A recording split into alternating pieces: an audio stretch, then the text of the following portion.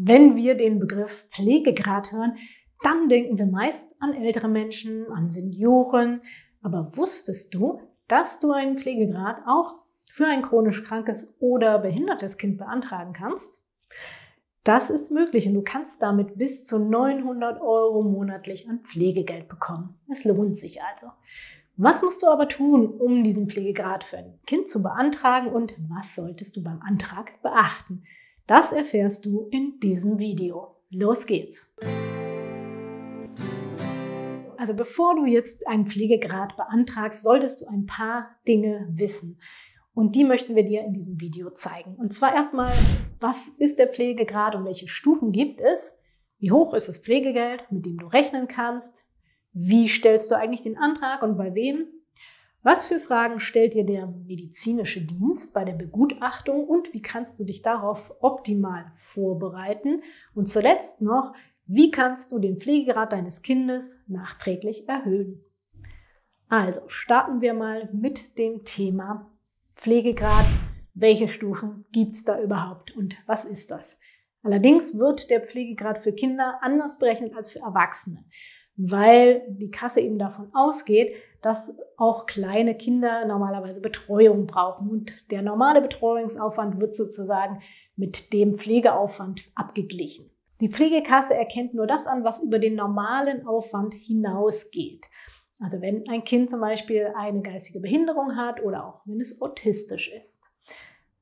Allerdings gelten für Kinder, die unter eineinhalb Jahre alt sind, besondere Regeln, denn Kleinkinder haben sowieso einen höheren Pflegeaufwand. Ab dem elften Lebensjahr wiederum werden Kinder so behandelt wie für Erwachsene. Also da wird der Pflegegrad gleich berechnet.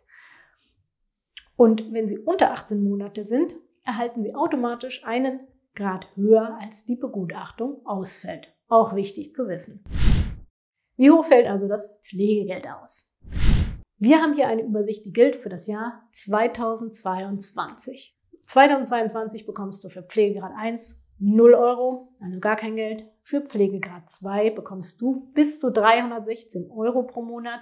Bei Pflegegrad 3 sind schon 545 Euro. Pflegegrad 4 sind 728 Euro pro Monat.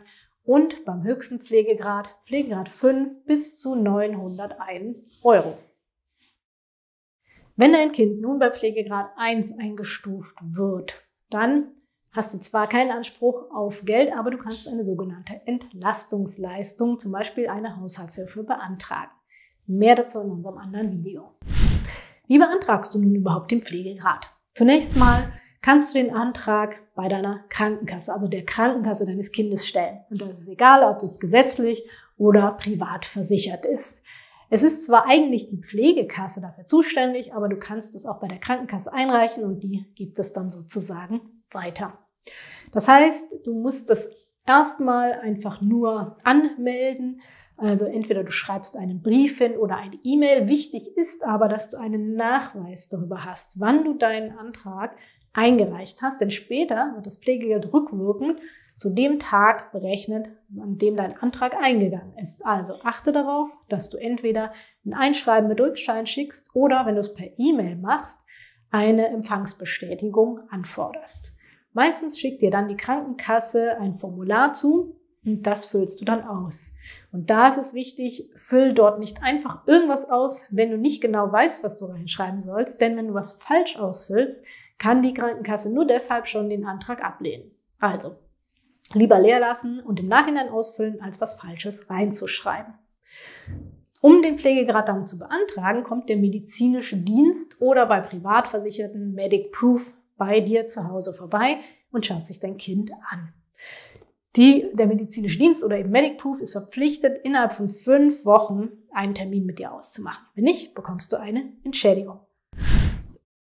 Was für Fragen stellt nun der medizinische Dienst? Am besten bereitest du dich darauf vor, denn die sind, sagen wir mal, nicht unbedingt in normalem Deutsch formuliert. Du kannst das mit einer Pflegefachkraft durchsprechen oder den Online-Pflegegradrechner anschauen, den wir unter diesem Video verlinken. Dann hast du ein ganz gutes Gefühl dafür, mit was für Fragen du rechnen sollst und kannst auch schauen, welcher Pflegegrad euch wahrscheinlich zusteht.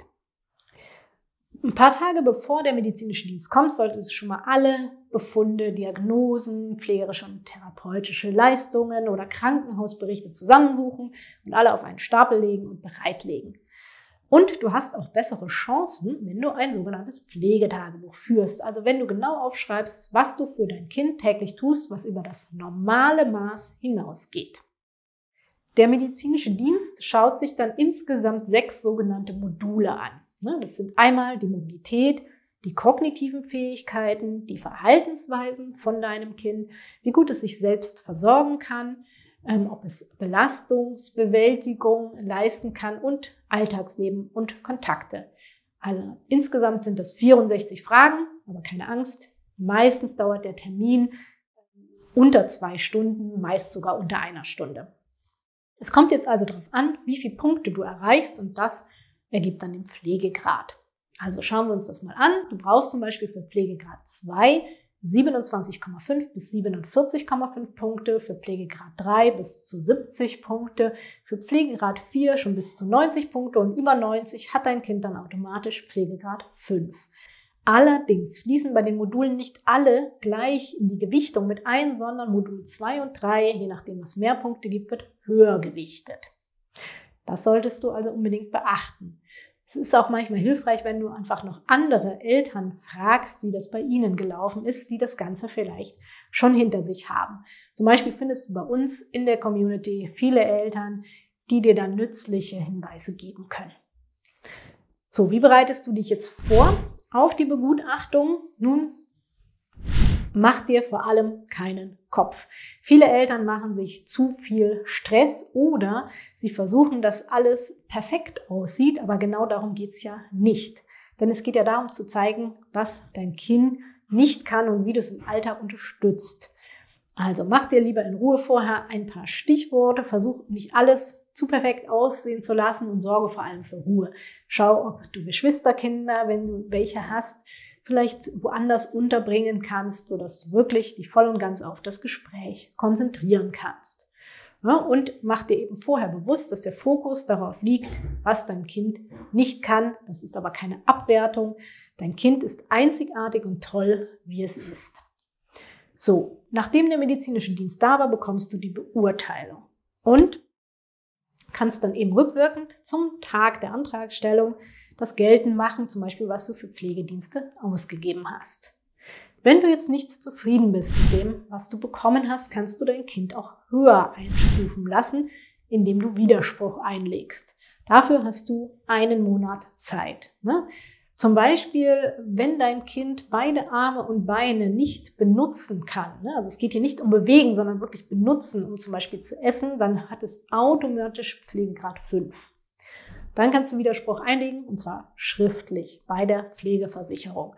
Bei sowas unterstützen dich auch Sozialverbände wie der VDK.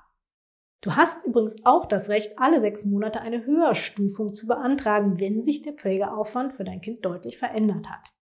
Am besten forderst du dafür das Gutachten vom letzten Mal an und kannst dann ganz genau zeigen, an welchen Stellen sich was verändert hat. Das sind also die wichtigsten Dinge, die du wissen solltest, bevor du den Pflegegrad beantragst. Und nochmal der Hinweis, am besten informier dich, bereite dich auf das Gespräch vor, bewahre Ruhe und wenn es anders ausfällt als gedacht, hol dir Unterstützung. Wir freuen uns natürlich, wenn du diesem Video ein Like da lässt und diesen Link auch weiterschickst. Vielen Dank.